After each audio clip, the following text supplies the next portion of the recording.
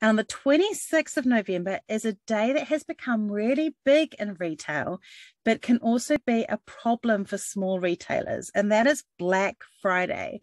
And one of the biggest mistakes that retailers make in Black Friday is they forget that they are not in there to do a carpet sale across their business.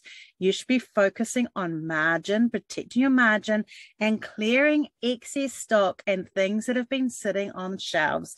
The shelf sitters. That's the stuff that you want to be focusing clearing during that time. On 27th of November from America, we've got Small Business Saturday, which is starting to gain. So if you're a micro business, that might be the day that you really use to push. And then on the 29th of November, there's Cyber Monday for online shopping. So for some of the big players, and remember, you're not a big player, you are a small independent retailer. Even if you've got four or five stores, you're still an independent retailer. You don't have to follow the big names, big discount things. They're often buying at different margins. They don't have to need often have as much big, bigger margins as you do to pay and support things. Plus, they are a black box to you. You do not know what's going on with them. They could be losing money. You don't know. So these are all ones that you could potentially do. So Cyber Monday is for online selling.